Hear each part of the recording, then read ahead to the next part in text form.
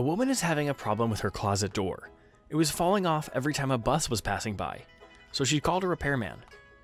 The repairman comes and sees that indeed, the door falls off every time a bus passes by. Okay, I'm gonna see what is going on. Just close the door behind me. And he steps into the closet. Just then, the husband comes home from work, opens the closet, and finds the repairman. What the hell are you doing here? The repairman says, Well, you're not going to believe it, but I'm waiting for a bus.